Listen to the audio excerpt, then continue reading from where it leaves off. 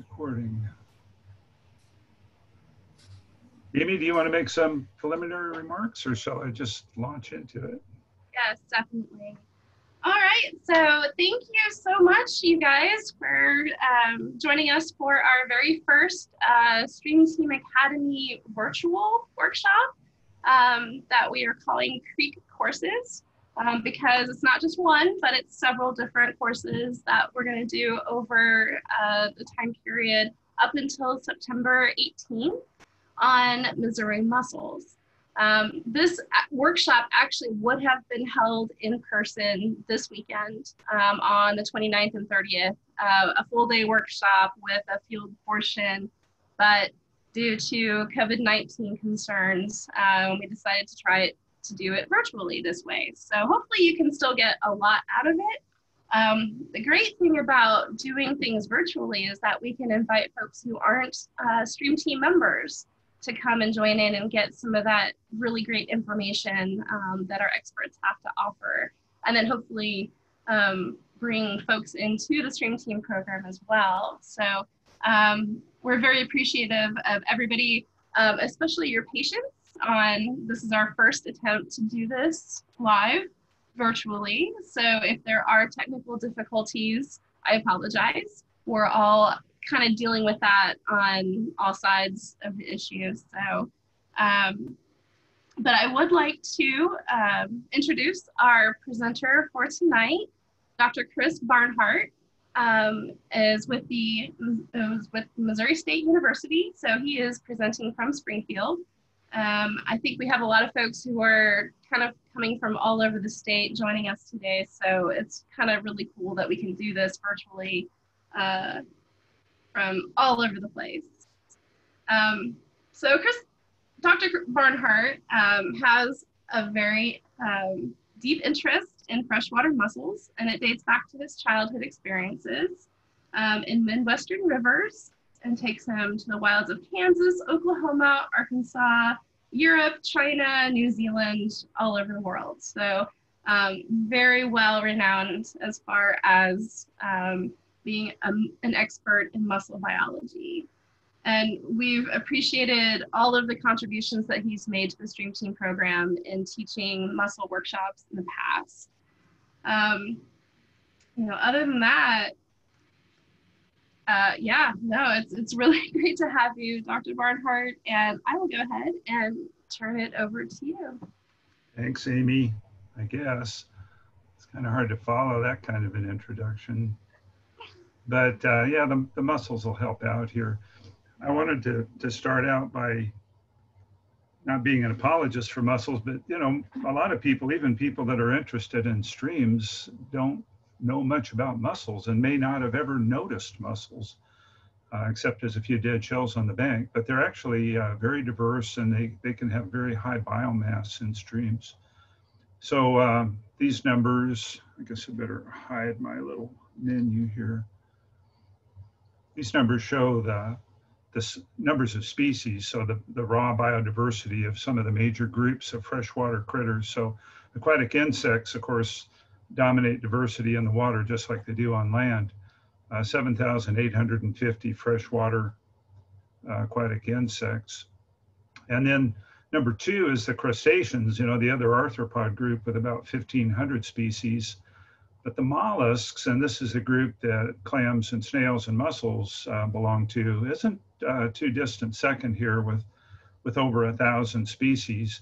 And then fish come in, again, about the same. So these three, three groups are all very important, but fishes and, uh, and even crayfishes are better known to most stream folks than, than uh, freshwater mollusks are.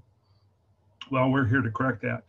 And I wanted to tell you uh, what a mollusk is too. The mollusks are a phylum, and you know arthropods are a phylum, uh, vertebrates are a subphylum, and uh, within the phylum there's an awful lot of diversity, just like there's a lot of diversity in the vertebrate phylum.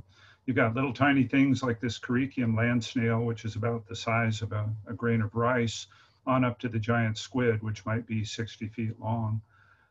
And uh, it is, in fact, in terms of diversity, the second largest phylum after the arthropods. It's got about 73,000 living species and lots of fossil records. So very diverse group. And it's found in all the major habitats. It's found in the ocean, it's found in freshwater, the subject tonight, but also on land. There's a great diversity of land snails as well. And there are seven living classes. So these are the major branches within the phylum Mollusca. And of course, everybody's familiar with snails. The gastropods are actually the largest living class of mollusks with 59,000 species. And the bivalves are number two with about 10,000 species. Uh, the other living classes have much lower species diversity, but that doesn't mean they're necessarily obscure. Everybody knows the cephalopods, of course, because they're big and uh, potential human food. And these other groups are, are somewhat more obscure. So bivalves. And if you are into the seashore or scuba diving, you probably have a better appreciation of bivalve diversity than if your experience is only in freshwater. Uh, 10,000 living species of bivalves, but only about 12% of those live in freshwater. The vast majority of bivalve diversity is marine. And they're often very large and they're often very abundant, so they play important ecological roles. And that's that's true in freshwater too, not, not just in marine. If you wanted to describe uh, what a bivalve is, and by the way, I can't see my thumbnail, so I don't know if you guys can see me. Amy, can you tell me if you can see me or not? I'd let my hair down if I had any. Yes, I, I can see you, Chris. Okay, well, I'll, I'll try not to pick my nose now that I know that you can see me. Okay. So uh, here's bivalves, you know, they've got two shells and they're hinged dorsally, right?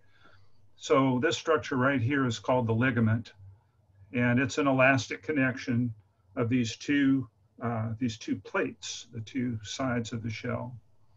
So that's the ligament. And then uh, the gills, which are shown in blue here, are ciliated, covered with the same little hairs that, that line the airways in your lungs.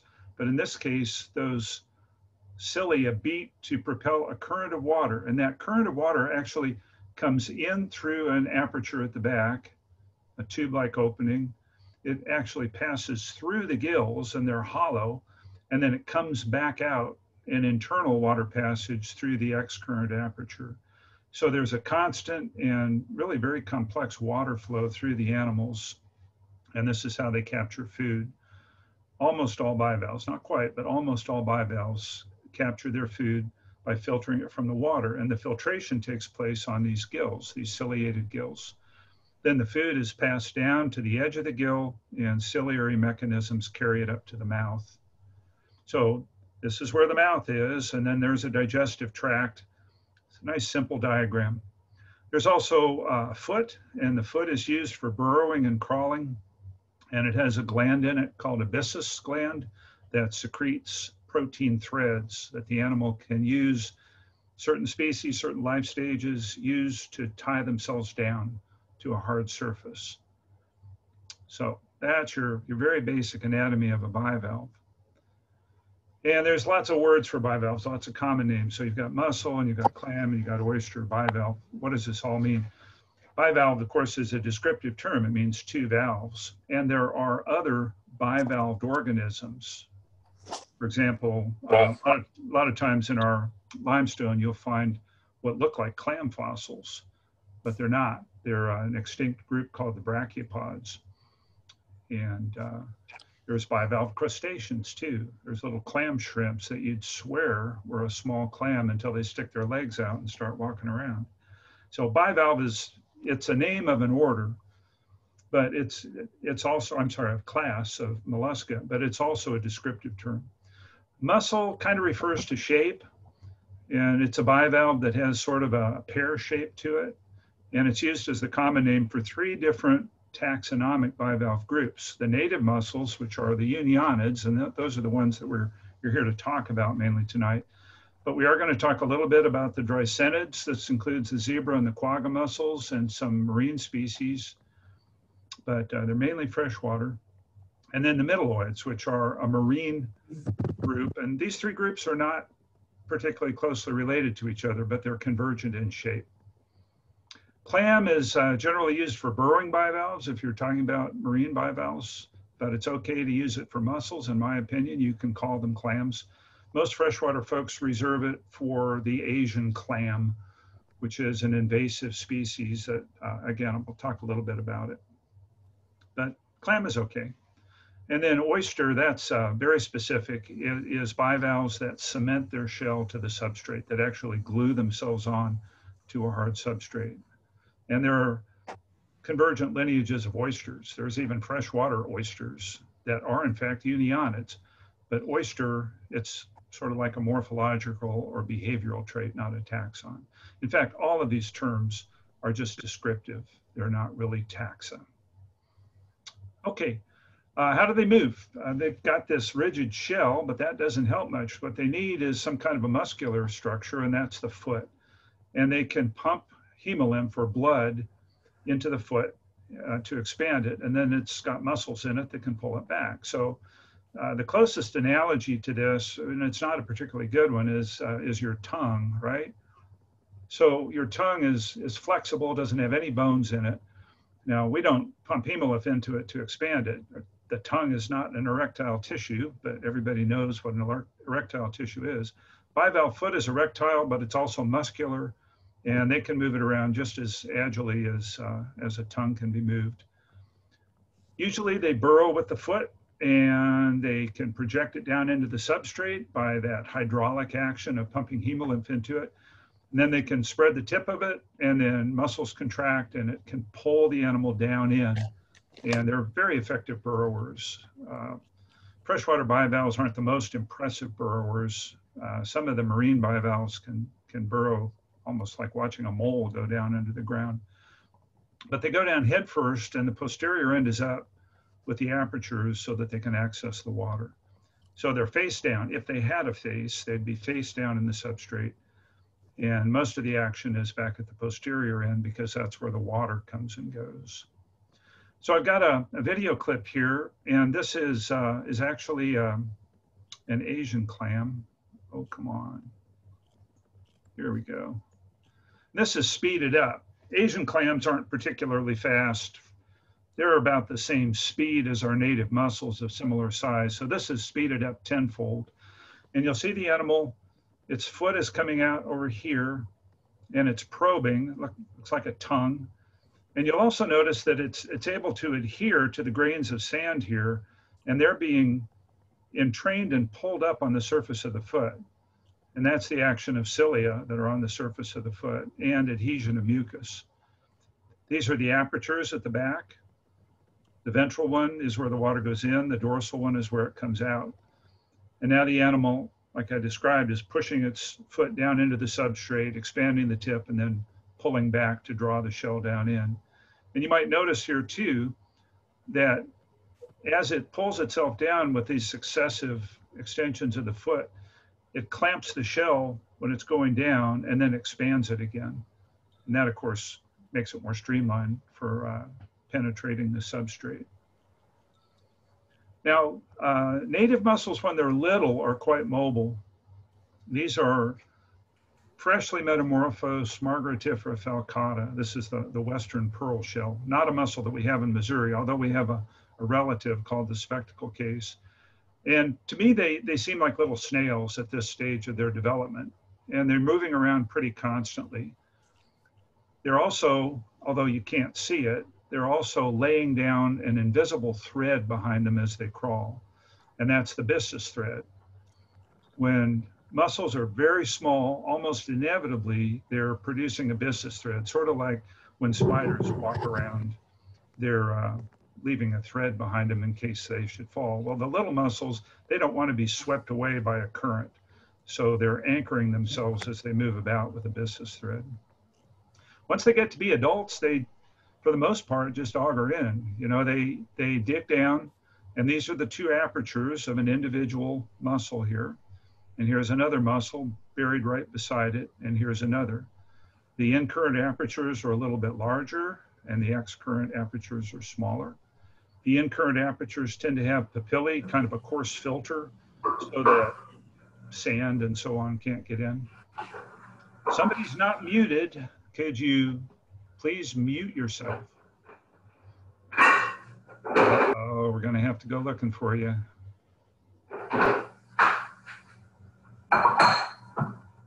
We're going to have to listen to the dishes being washed. Yeah, okay. I can see if I can try to find the offender. I don't see him. I don't see it. Maybe you can. Um, I I don't. Well, it's gone now anyway. Yeah, let's move on. All right. Oh my God, this is so cool. Thank you so much. So buried mussels, and uh, you know we've we've gone out and found mussels that Heidi Dunn marked 10 years before, and that same mussel is sitting in the same spot. Particularly big, heavy mussels, they stop moving at a certain age, and they they basically stay in one place their whole lives. Now, some bivalves tie themselves down. Most native mussels only produce byssus when they're little, and it's not a permanent attachment. They're kind of using it as they're moving about. But uh, zebra mussels and quagga mussels and the mytilid type mussels do tie themselves down somewhat permanently with byssus. Now they can, excuse me for a moment, they can let loose zebra mussels tie themselves down like this, but they can let loose and move about. They generally don't though after they become adult. When they're little, they're quite mobile and they'll they'll pick up and go somewhere else. But uh, as they get big, they tend to, to stay put, and this is actually why zebra mussels and quagga are such a problem because they attach to surfaces and they uh, become a nuisance as a result. Again, little mussels, little native mussels do produce byssus, but it's not a very permanent attachment. And after they get past a centimeter or so, they stop doing it. Once they're big enough and heavy enough that they don't have to worry about being blown away on a water current, then they'll stop producing byssus. But at this size, if they're happy, they make lots of byssus threads. And if you've got a bunch of them, as we do when we culture them, uh, you can pick up a, a gang like this. Again, the, the byssus of the zebra mussel is a major reason that it has such an impact. It can tie itself down inside of pipes.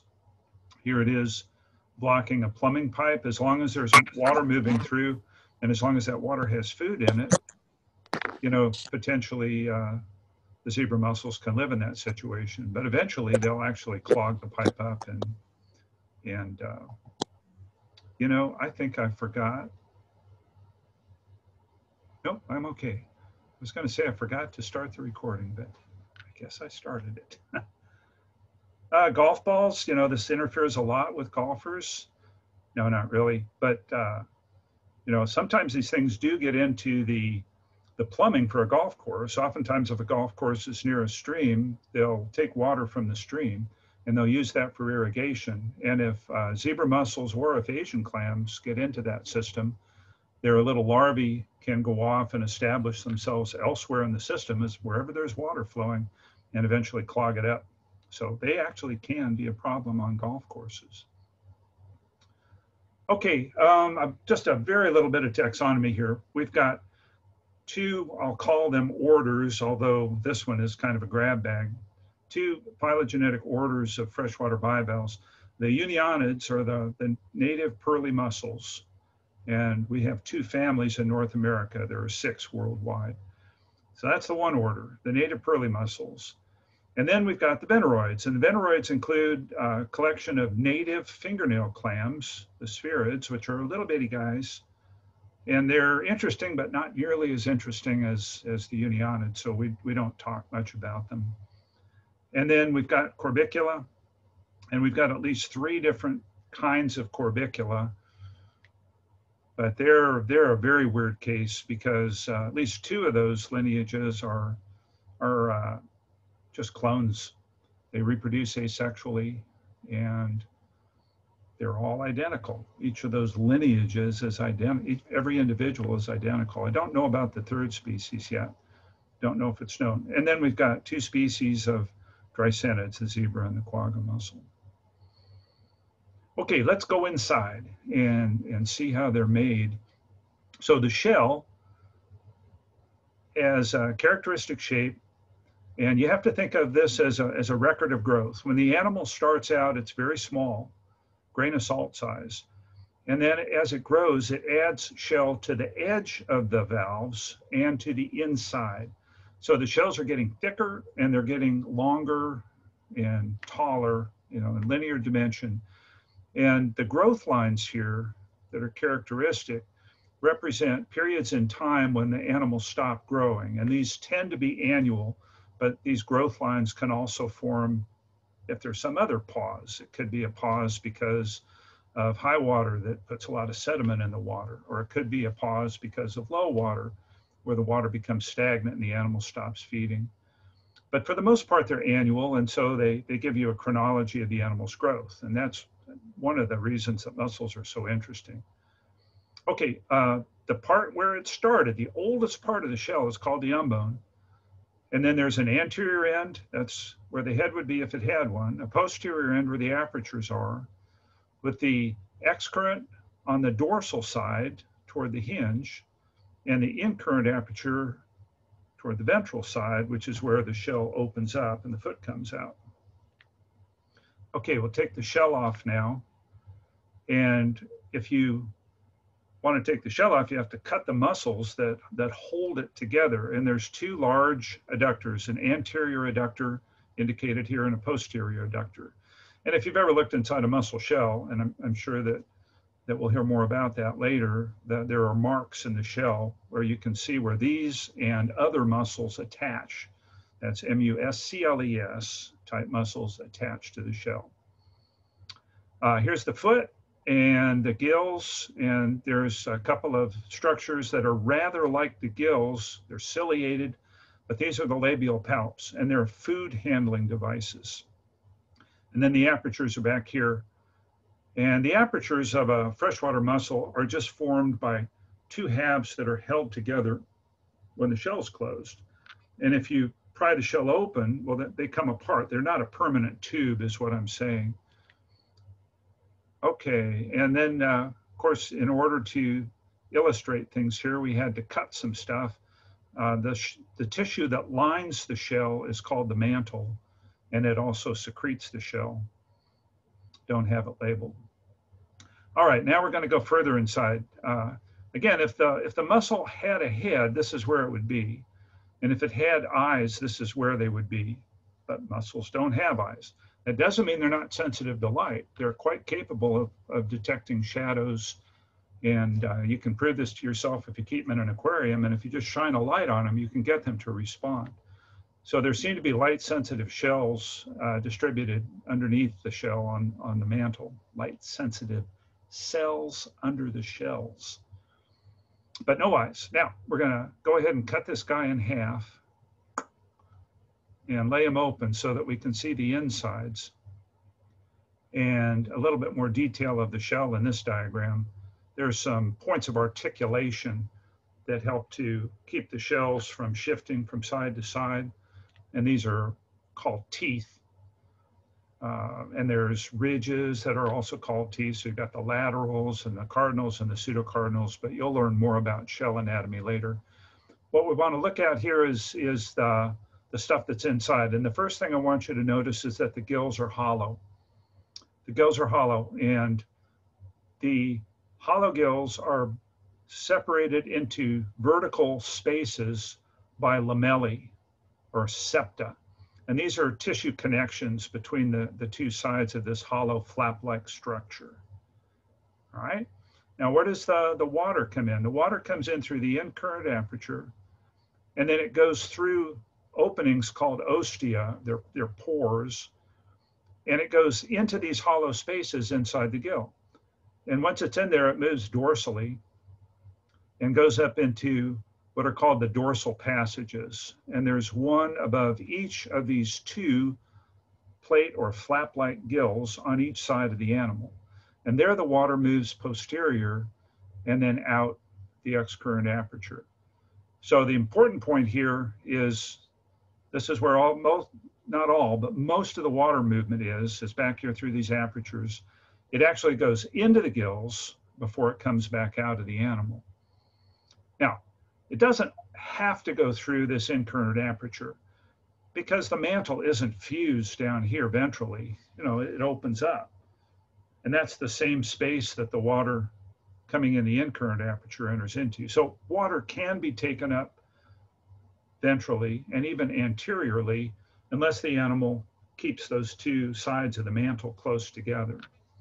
When they're little, they take water in all along the margin, not just at the posterior. When they get bigger and they're buried, almost all of the water movement is through the in-current aperture. But the water going out is always coming out the excurrent because the water movement is driven by the gills. They're, they're pumping the water into themselves and back out again. Now, unionids are, are one of a, about 40 orders of bivalves. There's a lot of diversity on the, the order level in the, in the bivalvia, in the class bivalvia. So what's special about the unionids? Well, it's their life cycle. They've got this weird life cycle where there's a parasitic larval stage that has to attach to the gills or skin of fish. There's one species that we know uses an amphibian. It's the salamander mussel but almost all of them use fish. And there's maybe a couple that can do a direct metamorphosis where they don't have to be parasitic. But those are the exceptions that prove the rule right there. Essentially, all of the 840 some species of this order um, have this parasitic larval stage. Sometimes the larva is very different. Um, there's various kinds of parasitic larvae among the different families, but uh, but this is the distinctive thing, and there's no other kinds of bivalves other than this order that have parasitic larvae, to my knowledge. So the female mussel releases tiny larvae called glochidia, grain of salt size. This isn't to scale. They're much, much smaller than the female. They have to attach to a fish, and there they become encapsulated by the tissue of the fish. So the tissue of the fish actually grows over them. And there they sit for a matter of weeks days to weeks to months, depending on the species and the temperature, and they undergo a metamorphosis from this larva to the juvenile stage. The Glochidia doesn't have much anatomy. It's, it's really just a little Pac-Man thing that can close on the gill. But after its metamorphosis, it has everything it needs. It's got the ctenidia that can pump the water. It's got the foot, the nervous system, intestine, everything but gonads when they uh, come off the fish. And they generally don't grow very much during that metamorphosis. It's just a, a continuing embryonic development, you might say, on the fish. Well, I left out um, one important stage here. That's the, the gametes, you know, how do they make babies? Well, when they spawn, the males release aggregates of sperm called sperm balls. The females make eggs, but the eggs aren't released into the water. Most bivalves do release eggs into the water, but unionids and, and also the uh, corbicula clams and the fingernail clams, they, uh, they brood their eggs. The females brood their eggs inside those same hollow spaces in their gills. So this is the stage called brooding, and this occurs again inside the gills of the female. After the larvae are mature, they leave the mother or sometimes they're taken away. Sometimes they're released in devious ways to attract fish. And if they're lucky, you know, one in hundreds of thousands will find its way onto a fish and undergo its metamorphosis. If they don't get onto the right kind of fish, they die. And only very few of them make it through that bottleneck. When they come off the fish, they're free living from then on. They, they feed and they grow and they Depending on the species, they might live for 100 years. It's not unusual for mussels to live for decades. And there's a few that, that crack the century mark. But most of them, you know, in the neighborhood of, of 10 to 40 years is, is kind of a, a typical range. Here's the, uh, the male side of the, the spawning business. This is a little mussel called Truncilla truncata. And how do the males fertilize the females? Well, they release their they're milt into the water, and then the water current carries it to the female, and the female filters it out. What happens after that, we really don't know. We don't know what the path is through the female. She's in the business of filtering stuff out of the water, but the stuff she filters out of the water, she swallows or rejects as pseudo feces. So, how these sperm get into the, the water tubes where the eggs are is still an open question. But this male is, is spawning. And this goes on for hours or even days. it is one long orgasm for a, a male mussel. And these tiny specks that you see in the water now, those are individual spermatozeugmata.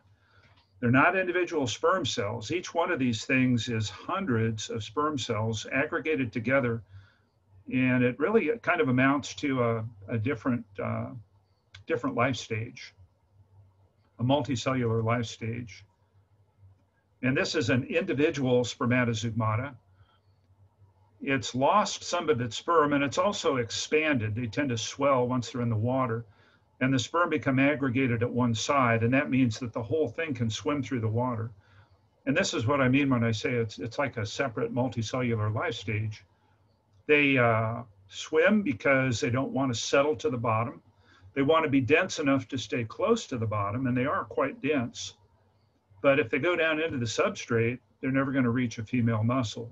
So it's quite possible that they exhibit some taxis, maybe toward the light or away from the dark uh, in order to maintain their position in the water column. Really interesting. They look kind of vaguely like ball volvox, which is a colonial algae that you might have heard of or seen in freshman biology. Now, if you take uh, the individual sperm, they're much, much smaller. And these are stuck to glass. That's why they're, they're not swimming. These are spermatozeugmata now, the sperm balls, and we've just dropped a saline solution, a salt solution onto them from a pipette. And what you'll see when we do that is it will trigger the activation of the sperm. They'll start wagging their flagella and then they all disperse away from the sperm ball. This is probably what happens when they reach the female mussel. You know, they're cooperating until they get there and then they bail off and it's every man for himself to try to find an egg and fertilize it. And they, they do respond that way if you expose them to an egg.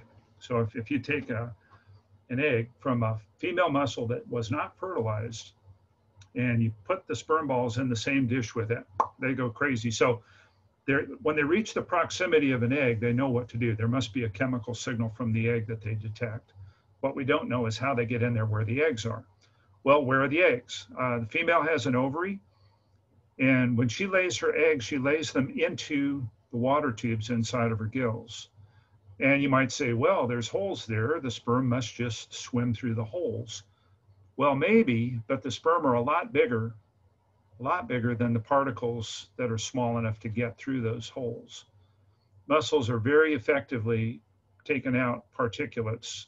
Uh, they don't let things through that are bigger than a micron or so. And the sperm are tens of microns in length and about four or five microns in diameter. So it's not at all clear the other thing is that if you put sperm balls on the gills, they don't know that there's eggs in there.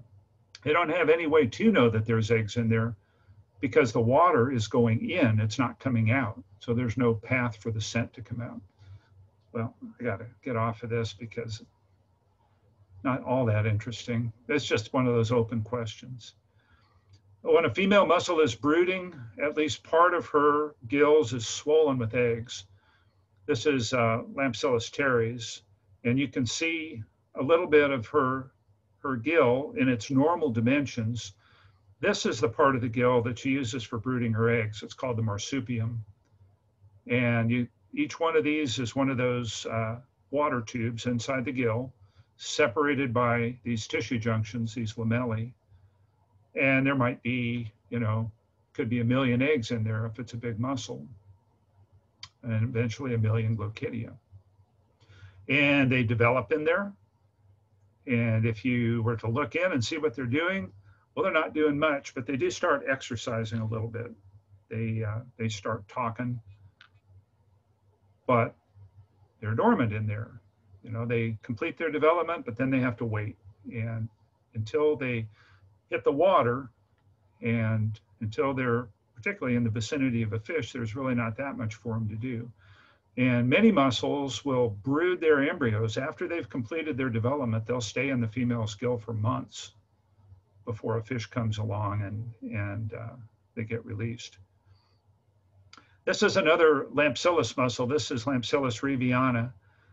And you see something really interesting going on here. She's moving and she's got flaps of mantle tissue here surrounding her marsupial gill, and that is her marsupial gill there. She's uh, protruded it out from the shell, and she's waving these flaps, and they look like a fish. And you probably heard the story that this is how mussels attract a host for their babies, at least the Lampsiline mussels, this particular tribe. So here's that same kind of mussel, Lampsilis reeveiana, and some small bass. They strike at the lure, and that ruptures the marsupial gill, and that releases the glochidia into the water. And a few lucky ones will get inhaled by the fish. And once they're inhaled, a few of those will come into contact with the gills, and they'll clamp on, and they'll become encapsulated. And that is how they'll be until they're done. When they're finished with their metamorphosis, they'll come out. Now, they don't force their way out. It's not like that. It's more like there's a chemical signal. Somehow they activate the fish's inflammatory uh, response and the capsule will break down. And only after it starts to break down and the water reaches the juvenile will it start feeling around with its foot. So it, it seems to be more of a a tissue lysis than uh, any kind of an active burrowing on the part of the juvenile. This is a glochidium attached to a fin. And what I want you to see here is how the fish's tissue forms that capsule. It looks like the whole surface of the, of the fin is moving. And the, these are called keratocytes. They're uh, a class of cell that covers fish. It covers the, the scales and the gills and the fins. These keratocytes are mobile cells. They're kind of like our white blood cells. They're crawling around constantly. And if there's a wound, there's a wound response, and that is for the keratocytes to crawl over whatever's trying to attach. There's lots of kinds of parasites that try to attach to fish. And uh, the keratocytes will, will crawl and eventually form a capsule. And for most parasites, there's bad things that happen then. The immune system causes oxidative reactions to happen and does things that will kill the parasite. And actually, if the wrong kind of glochidia attaches to the wrong fish, they'll be killed by the fish's immune response. Or the capsule will break down, it will become inflamed, and then the tissue will just shed the thing. And both of those things can happen. But if it's a compatible kind of glochidium, if it's a glochidium that can use that kind of a fish as a host, well, then the capsule remains intact, and then the mussel can complete its development. Well, I showed you the Lampsiline lure. The, uh, the tribe is a taxonomic group uh, that's below order, and there's a number of different, uh, it's actually below family. So there's a number of different uh, orders within the family Unionidae, within the order Unionidae, and the lampsilines have these mantle flap lures. Uh, they can look like a crayfish, they can look like a minnow, they can look like, I don't know what, something that you'd see in Bass Pro. Uh, this is black sand shell and it's got a, a bone white marsupium and these uh, these flaps wave and it's a it's a walleye lure. That's their primary host is walleye and sauger. So those are mantle lures and that's one category of uh, way to attract a host fish. There's also many, many species that have conglutinates. And conglutinates are aggregations of eggs that are released as a mass from the female. So these are eggs that are stuck together with each other. And they've got glochidia inside of them. And it's a bait. So a fish that thinks this is something to eat will grab it. And in handling it, will rupture the eggs. And then the glochidia will be inhaled and get onto the gills. And then there's some other tricks too. One of the most interesting uh, is uh, Epioblasma, the fish trappers. So I'll show you an example of conglutinate, and then I'll show you an example of, uh, well, I guess we're going to start with host capture. Okay, you saw a fish bite a mussel. Now you're going to see a mussel bite a fish. This is a very successful genus. Well, it was successful evolutionarily. Now it's really on the rocks, on the ropes. It had about 24, 25 species, and there's only a handful of them left. Most of them are extinct, and the, the balance are endangered with, uh, I don't know if there's any exceptions. I don't think there's any Epioblasma left that aren't on the endangered list. Here's one that uh, is doing reasonably well, uh, even though it's on the endangered list. It's called the oyster mussel. And it's got a mantle lure, little tiny mantle lure. And then it's got these broad white flaps of the mantle that cover the goodies. And the female opens up wide, almost like, uh, like a Venus flytrap. And it's got this little lure. And then it's got these sharp teeth which is very much like, you know, the projections on a Venus flytrap. So you can guess what's going to happen with these. So they stand up, the females stand up in the substrate and they, they open up like a Venus flytrap.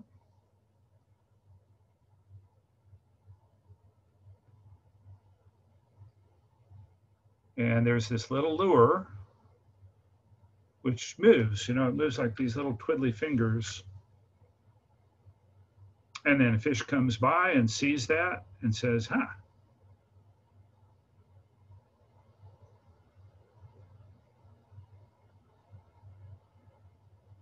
I hope the video is working all right.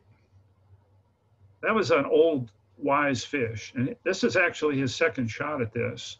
It's probably not his, it's probably his 10th shot. This fish obviously knows what's up. Darters are pretty clever fish. And they, they figure this out quickly. So we need a, a young, dumb fish. So here's a little baby darter that probably hasn't experienced this mussel before. And the same deal, it sees that little lure and it has to lay its whole body in there and it gets caught. And now what happens is the mussel starts releasing glochidia and it releases them into the mantle with no rupture of the gill necessary. It's got a way of pumping, reversing the flow and pumping water out with glochidia, and it basically charges the mantle cavity, and the fish is in there struggling, and it's getting coated with glochidia. Not only that, but as it struggles, other fish notice this, and there's glochidia in the water, so other fish, fish being the social animals they are, will also be infected. Now the mussel lets go as soon as the fish stops struggling. And by that time, the fish is in, in pretty bad shape. And this fish died. This particular individual fish died the next day. And that probably happens a lot. Uh, Epioblasma probably kills a lot of its potential hosts, but the fact that, you know, darters tend to be uh, around other darters, and because there's this response, this attraction, uh, it's, it's probably acting as live bait. Conglutinates are sometimes amazingly elaborate and mimetic. Again, this is an aggregate of eggs with glochidia inside, and the host thinks it's something to eat and then bites it and releases the glochidia. So a mussel that we've got in our streams, at least the north flowing streams around here, is is uh, in Meramec and uh, the Bourbeuse, and uh, it's also in the the upper Arkansas system, the genus Ptychobranchus. And it produces these little tiny conglutinates that are mimetic of insect larvae. And they're targeting darters and probably sculpins as well. So they release these things and they've got an adhesive tail that sticks to the rocks or vegetation. The one that we've got in Missouri is, is Ptychobranchus occidentalis. And the conglutinates are a pretty good mimic of a black fly larva. And I know that because I've showed these to aquatic entomologists and asked them what they were, and they said, oh, well, it's an insect larva. It might be some kind of simulium. So it can fool an entomologist. There's another species on the other side of the big river, the, the fluted kidney shell, Ptychobranchus subtentum, and it mimics the pupal stage of the black fly. And there are species coexisting with each other where one is producing these larval type mimics and the other is producing this, this pupal type mimic. Pretty cool. I wish I had some more recent video of this. Most of these videos are kind of old, but you still get the idea. So here's some conglutinates stuck to a rock and uh, the water current moves them a little bit. Darter picks them up, chews on them, they break, and those are the glochidia kind of like eating a jalapeno popper. This particular darter came back multiple times. I think five times it took one on camera. It didn't get tired of it. And it's got Glochidia on its gills, and it must hurt a little bit, but the visual attraction of this is so great that the darter just wouldn't quit. Well, I'm going to going to shift gears now. Um, the question: Do the Glochidia harm the host fish? It depends. Uh, Glochidia, if there are a lot of them, and particularly interestingly, if there's a lot of them and it's not the host, the fish's gills will mount an inflammatory response and will start sloughing tissue. And yeah, you can kill fish with Glochidia. But in the state of nature, a very dense infection of Glochidia would be very rare. And I think in nature, typically they have negligible effect on the fish. So, um, why bivalves are important, and we'll hear more about this, I'm sure, uh, during the other entries in the series here, but want to talk first a little bit more about their biology, their feeding biology, because that is the, the source of their ecological importance. They're an important link in the food chain because they feed on suspended particles. They're feeding very low on the food chain in rivers. They're, they're picking up, you know, the allochthonous material. The terrestrial material is the source of most of the energy in streams. Streams don't have a whole lot of algae production. What they have is a lot of organic material washing in from terrestrial vegetation, and that breaks down. Eventually, it's broken down by bacteria, by aquatic insects, and so on into tiny particles that we call detritus or FPOM, fine particulate organic material. And somebody's got to eat that stuff or that energy is lost.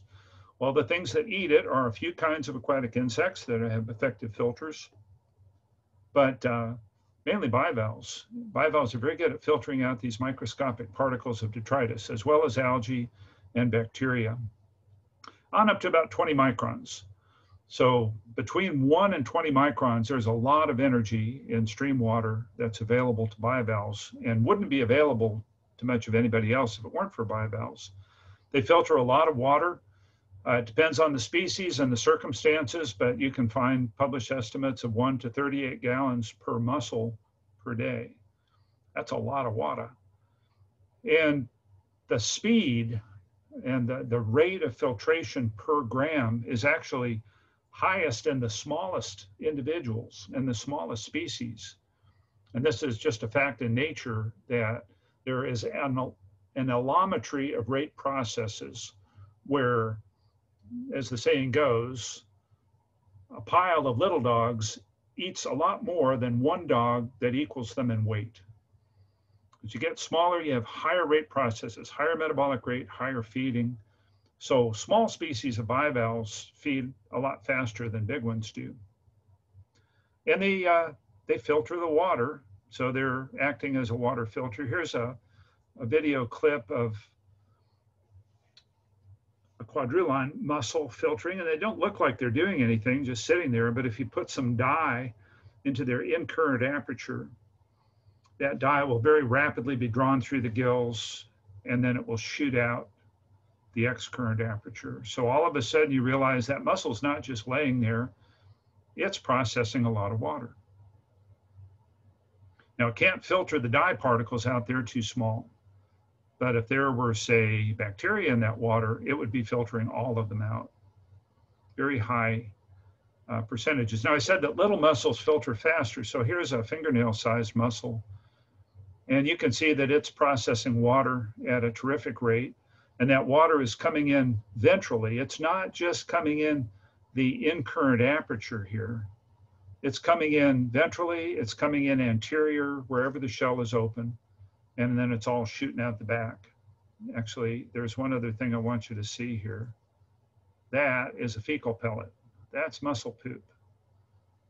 And that might seem silly to point out, but it's actually very important.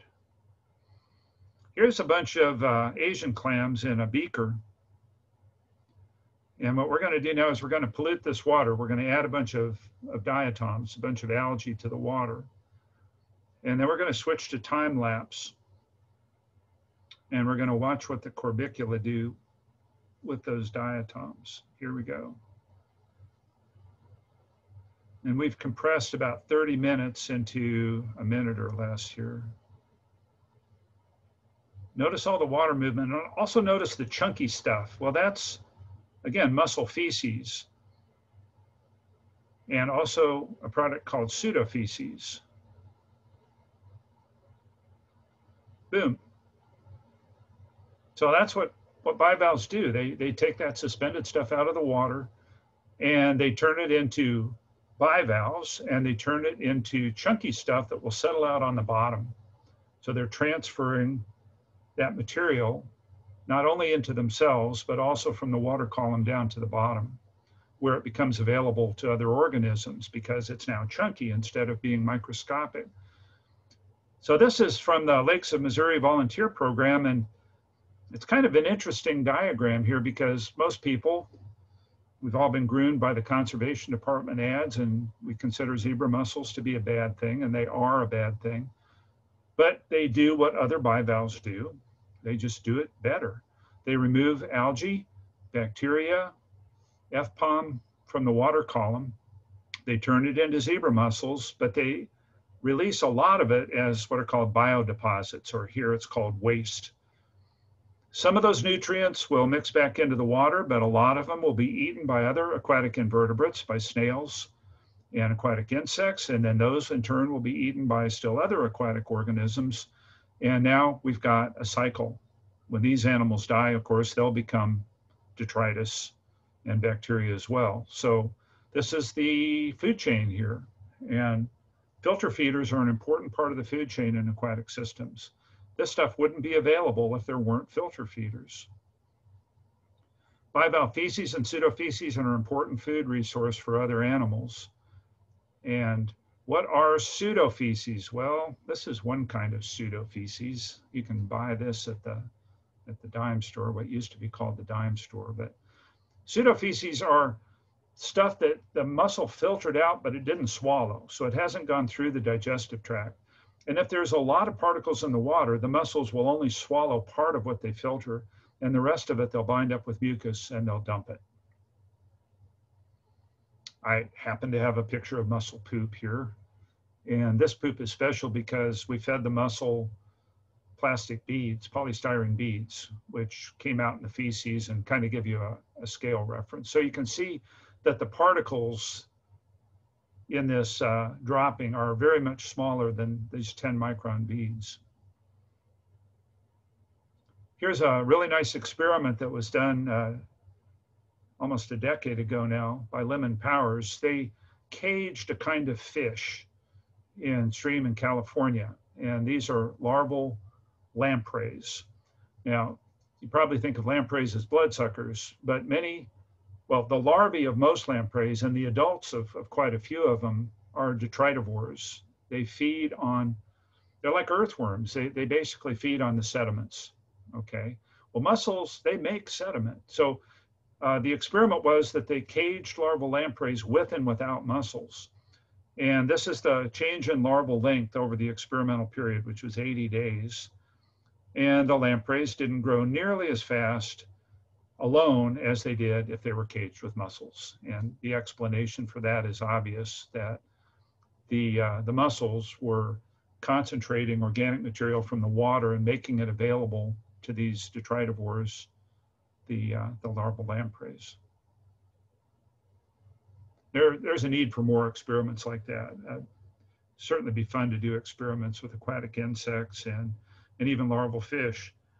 Um, Quinton Phelps used to work for MDC and he's an ichthyologist here now, did a nice experiment with another kind of poop. He looked at silver carp feces. Uh, silver carp, you know, are filter feeders too, and they produce voluminous feces that are still very rich in organic material. Well, I won't say the catfish were lucky, but but Quinton raised catfish, feeding them nothing but the feces of silver carp, and they did quite well.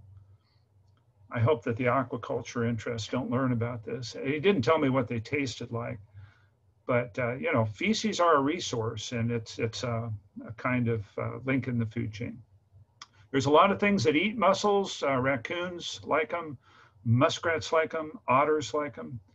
There's turtles that uh, are actually specialized morphologically for feeding on mussels. Some populations of map turtles will uh, crush both snails and bivalves.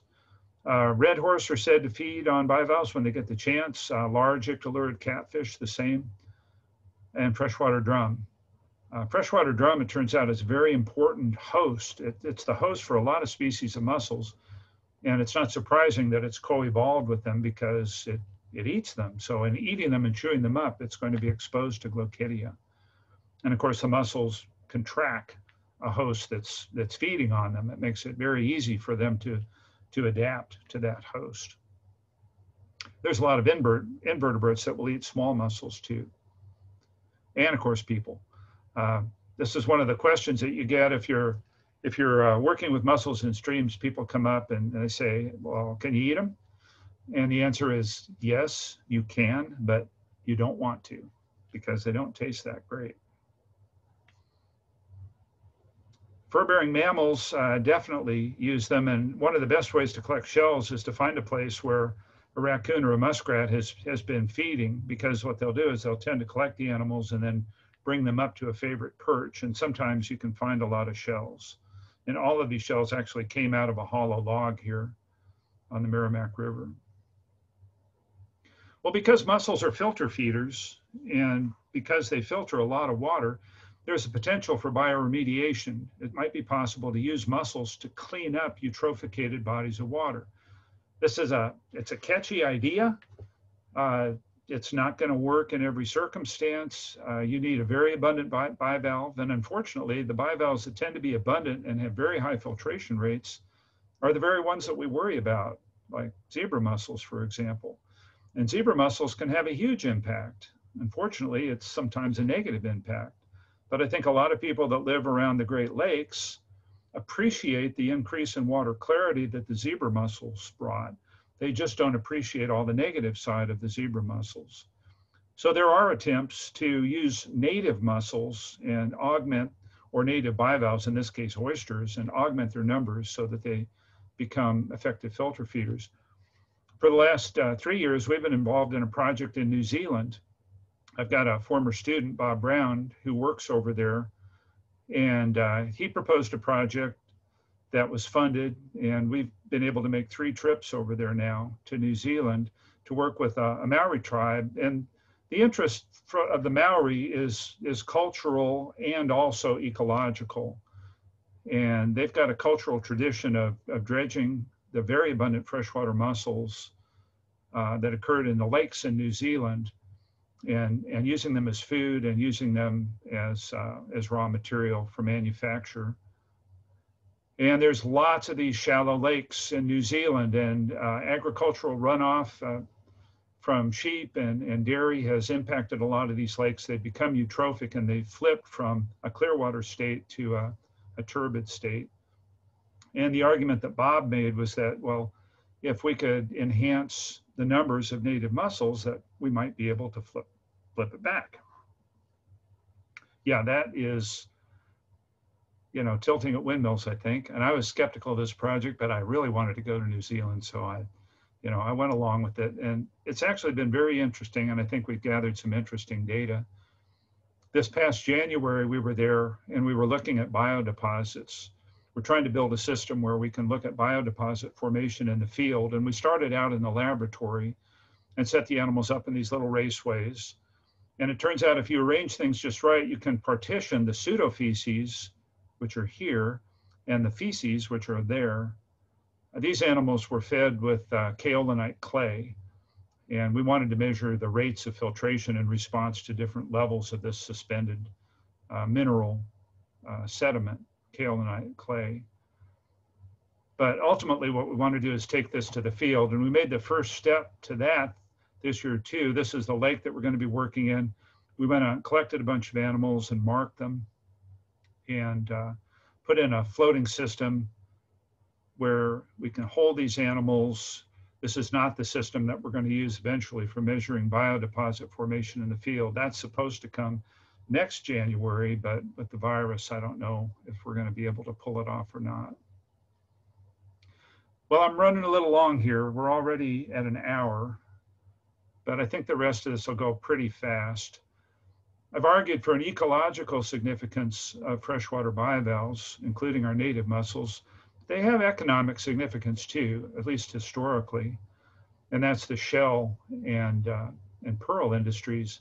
Native Americans used them as raw materials. This is a shell hoe recovered from a, a rock shelter. They were used as scrapers for hides and for pottery. They were used as temper for pottery. They were used for ornamentation. This is a, uh, gorget that is made out of mussel shell. But when the Europeans got to North America, uh, they were seen as a potential source of raw material. And a guy named Boepple was a button maker in his native land in Austria. And when he came to the States, he realized that there was a lot of freshwater shell and it was high quality. And he established an industry starting in Muscatine, Iowa, that eventually spread throughout the Mississippi Basin and became a multi million dollar industry. And it was like a mining industry because these things were relatively abundant and easy to harvest. So these huge piles of shell, initially they would actually transport the whole shells, but as the industry wore on, had a, a run of about 50 years, uh, they started to just drill the shells on mobile barges and then just move the button blanks. But there were factories all over the place, uh, as far west as Iola, Kansas, as far north as Ontario, and uh, they manufactured buttons. This was uh, this a high-end button. It's not a cheap wooden button. This was for dress shirts, and because it was a fairly pricey item, you know, they were valued, valuable. We still wear shirts, not this one, I've got a t-shirt on today, but if you look at buttons on a dress shirt, they look like pearl. Well, they're made out of plastic now, but the tradition of pearl buttons goes back to this industry. It's a vestige of, of native mussels being harvested as raw material, an echo, if you will. And the abundance was incredible. Now, this is 1940. So there were people with, uh, you know, movie cameras. This was even in color. It doesn't have sound, but these guys are out uh, in a river, the Grand River in Ontario, and they're going out probably on the weekend to harvest mussels. Well, what do you have to do? Well, you just pull your barge out there into knee deep water. And I'm going to jump ahead here because this is kind of a long clip. But then, you know, you just get in there and you start picking them up. And these aren't rocks they're thrown into the barge. These are mussels. All they have to do is reach down and there's a mussel right there. The rivers were paved with these things. And then you boil them out. You know, you, you throw them into a big trough and you put a fire under, put some water in it, and you boil out the shells. And look at the pile these guys have. Now, I don't think this is one day's work here.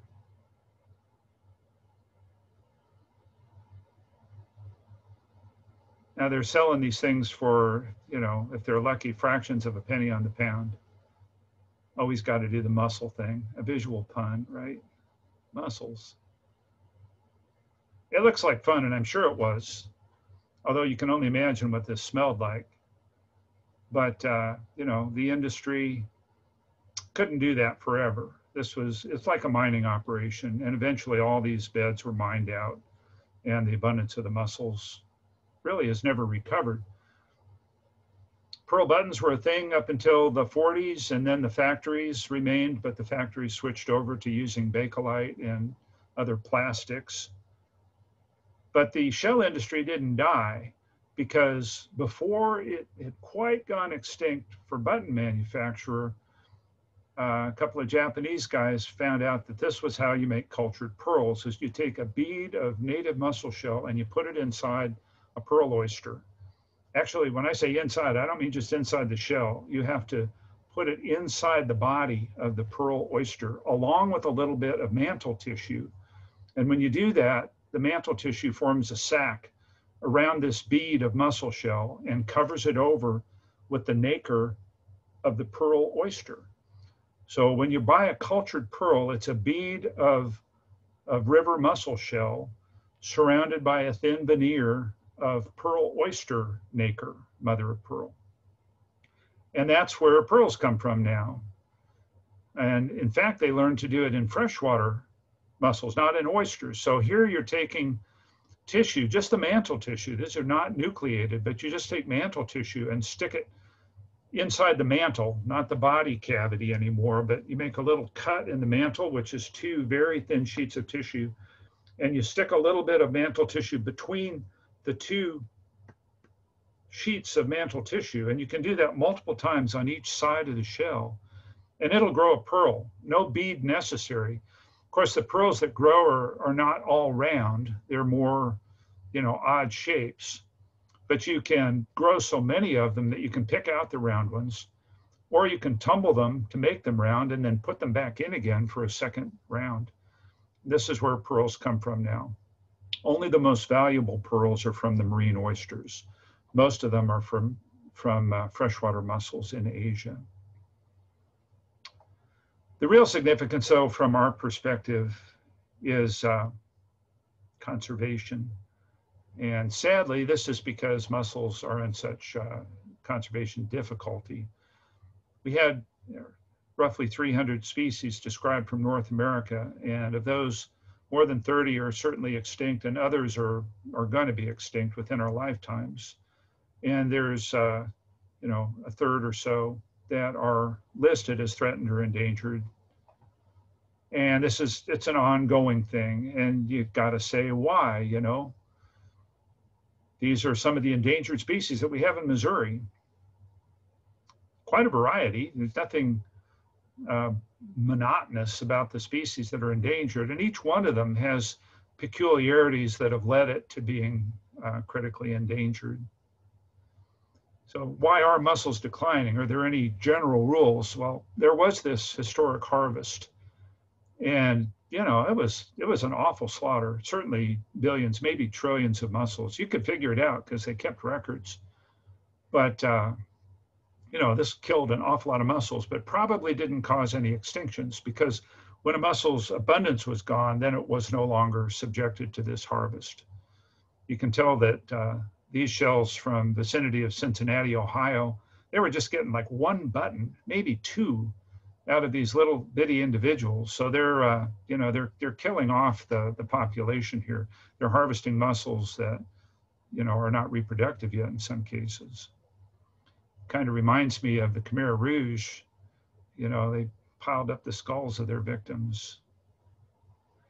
Well, again, that definitely reduced the abundance of mussels, but probably doesn't account for the extinctions the vulnerability of mussels is in the life cycle. They've got this parasitic larval stage where they have to have the right kind of fish, and many of them are very host specific.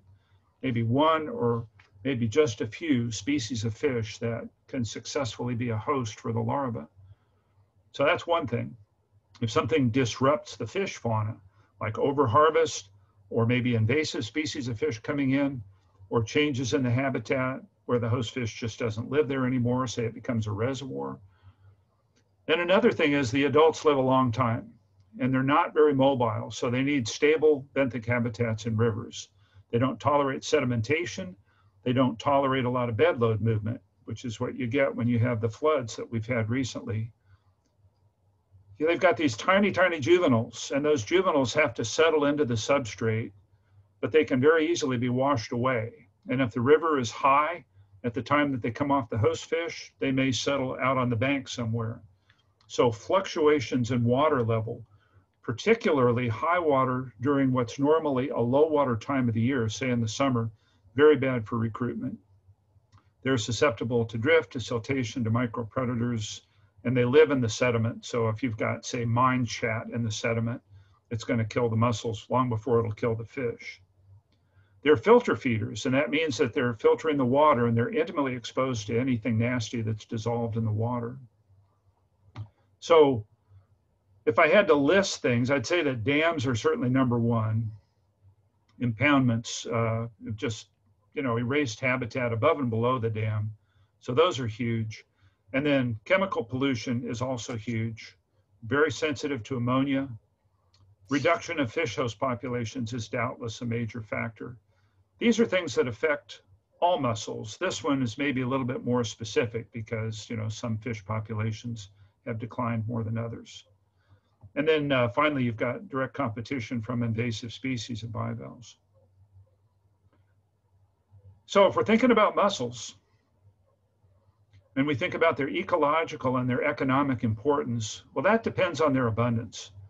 If mussels are abundant, then they have ecological and economic importance. But as they become more and more rare, that importance declines. And then when they get rare enough that they're in danger of extinction, well, then all of a sudden conservation concern clips in. But down in here, there's just no reason to uh, to protect. There's no no uh, infrastructure in place to protect mussels.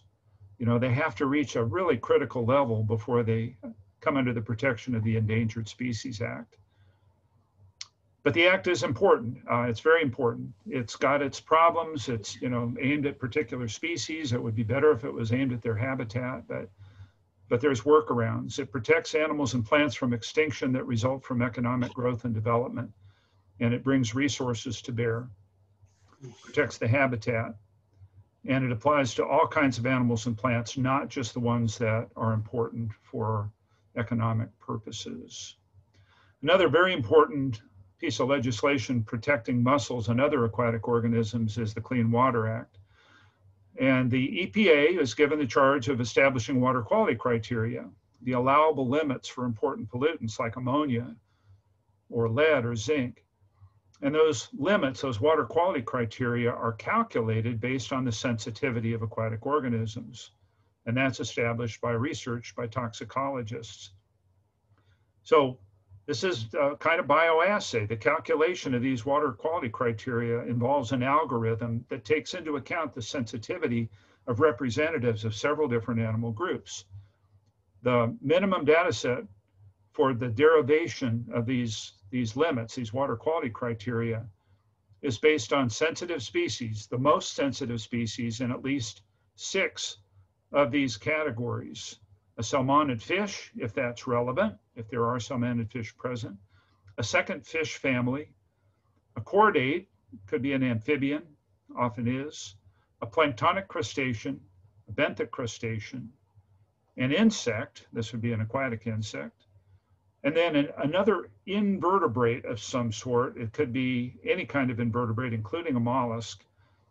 And then it's supposed to have an insect or mollusk. So there's two places where mussels can eventually or possibly contribute here.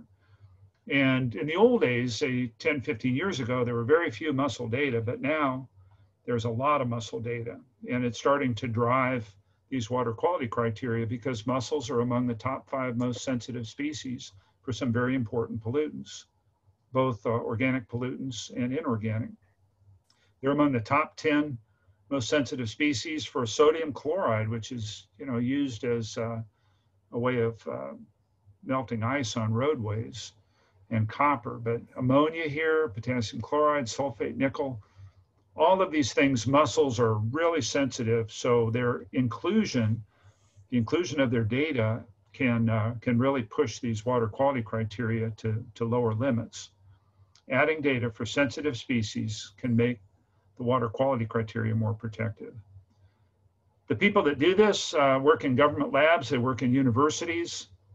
We work with the, the folks up at the USGS lab in Columbia, and we have for, for decades now. Uh, we grow baby mussels and we provide them for research as well as population restoration. And this is the most sensitive life stage, but increasingly, there's a there's a great desire to make this a, a, complete life cycle study for mussels that includes everything from the gametes to the adults, and we're working toward that. There has been some impact on water quality criteria. Uh, in 2013, the EPA lowered the allowable ammonia levels by half, and that was driven largely by mussel data. Sadly, not all states have adopted these criteria. Sadly, Missouri has not adopted these criteria, and there's there's reasons for that. It's very expensive to push ammonia as low as EPA wants them to go now. So this is it's an ongoing process. Uh, mussels can be monitored in the field. They, they can be the canaries in the coal mine. Uh, the monitoring of mussel populations is important for endangered species conservation, but it's also important as a way of detecting when there's problems. Mussel presence is a good indicator of water quality and the abundance of host fish. And if you get a kill, and sometimes this happens, the shells hang around. So they are evidence of events that may have been very brief, say a, a spill from a tanker truck or a factory violating its permit and releasing a bunch of effluent. Well, that effluent goes away, and even the dead fish go away pretty quickly, but the dead mussel shells can hang around for decades. So bivalves in general, not just in freshwater, but marine bivalves are widely used for monitoring pollution, both by their survival and by assaying their bodies and seeing what they've incorporated. Mussels have become, uh, in some cases, an important part of NRDA assessment. And, uh, you know, NRDA attempts to evaluate ecological damage and restore wildlife and habitat that's been damaged by pollution events. And mussels are good for this because they're sensitive and because, again, the shells provide hard evidence. In 2009, the ASARCO mining interest, sort of an umbrella thing, ASARCO, uh, awarded $64.7 million in damages to uh, consortium of states and tribes that had sued because of pollution from historic lead and zinc mining. Uh, lead and zinc mining in, in southeastern Missouri by Doe Run, there was a settlement awarded $72 million in damages. This wasn't exclusively mussels, of course, but mussels entered into it. And mussels are involved in many of the plans for, for restoration. So I'm sorry I went on as long as I did, but uh, I am going to shut up now. Uh, mussels, to summarize, are an important part of rivers. They're a link in the food chain. If they're abundant, they can be a very important link in the food chain. They've got economic value historically and presently. I didn't mention that there's still a mussel shell harvest, and it's a million dollar industry, as well as the use of freshwater mussels in Asia for pearl culture. So uh, they still have economic value and they can improve water quality. They provide ecological services if they're abundant. And here we have to think beyond native mussels too. We have to recognize that the things that Asian clams and zebra mussels do, along with the bad things that they do, they do the same things that native mussels do in terms of, of be, being a trophic link. Endangered species are an environmental early warning system and I think that's important too. But maybe most important, if you look at the, the reproductive habits of mussels, and if, if you become engaged with them, as I hope that some of you will now, learn the diversity of the species and you know it's it's a treasure hunt. It's an easter egg hunt every time you go looking for mussels they're really wonderful animals. They're just kind of subtle and you, you have to make an effort to become engaged with them. And this will enrich your life and I think it's important that we try to protect these things because then future generations can enjoy them as well. Amy, are you still there? I am. Oh my gosh, thank you so much. Again, like I said earlier, in the middle of your presentation, this is. Yeah, I'm sorry I ran a little long there, but. Oh no, it's fine. Um, this is such awesome, amazing information that I think that a lot of people just don't realize how important um, they, you know, these mussels, these organisms really are um, and how they fit into our aquatic environments. Now, we do have a couple of questions. If you just have a moment, I think we probably have some folks who are probably starting to drop off, but um, are there any studies um, of using mussels to filter wastewater? That's a tough thing because uh, mussels are very sensitive to ammonia. So they're not really a logical part of a sewage treatment system.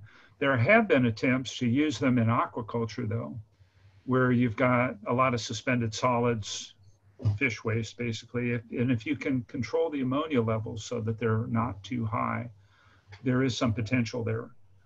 But I, I think generally the sensitivity of mussels to ammonia makes it really tough to use them in any kind of a waste treatment context. Right. Um, and then the other importance, uh, or the other question was, um, can you talk about the importance of uh, ephemeral streams with mussels? You tend not to find mussels in ephemeral streams, but ephemeral streams lead into permanent water, and permanent water is where mussels live. So, so certainly, you know, uh, reducing pollution impacts up high in the watershed is important. Reducing erosion up high in the watershed is important. You know, all the gravel that chokes our streams here in Missouri came from higher up in the watershed. Um, not necessarily losing streams, but probably a lot of them are losing streams. But uh, you know, bivalves uh, by and large are are less and less abundant as you move further upstream, and they're also less and less diverse as you move further upstream. Great. Um, I think that's all the questions that we have. Um, and I thank everybody for coming and um, enjoying this presentation. I learned a lot, and I've even seen it before. Um, and many of you probably also have as well, but every time um, I always learn something new. So again, I can't thank you enough, um, Dr. Barnhart, for uh, providing this information for us. Uh, all of this will be recorded and posted onto the Stream Team YouTube page. Uh, and then stay tuned and join us again uh, next Thursday, September 3rd. And we are going to talk a little bit more about mussels and um, Steve, oh, I got I've got one more piece of news that I just remembered that that Steve might be interested in. Uh, we found a southern maple leaf, Quadrula apiculata, in the James River at River Cut. You may remember that site, Steve, if you're still there. And it it's the real deal. I think that's a considerable range extension. It's up above the lakes in the James River. It's the, the only one I've ever seen, ever, anywhere. so it's you know typically a southern species. It does occur, and it it was uh, it was Allison Sia that found it. She's been looking at corbicula at that site, you recall, and uh, did, found a southern maple leaf. Did you keep it?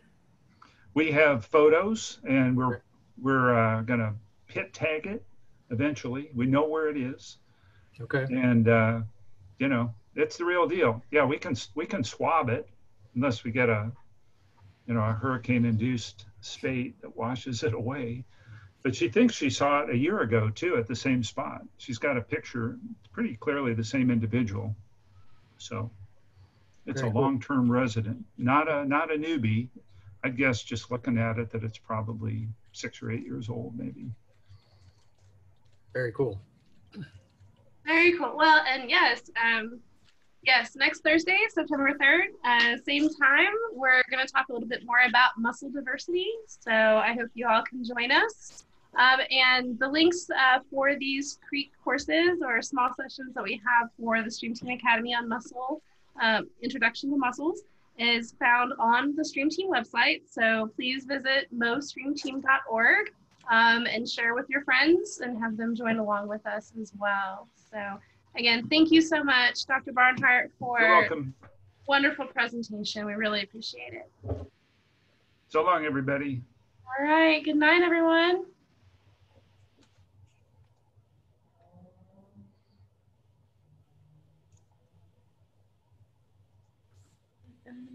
All right, now I need to make sure that this saves. So I'm going to stop recording.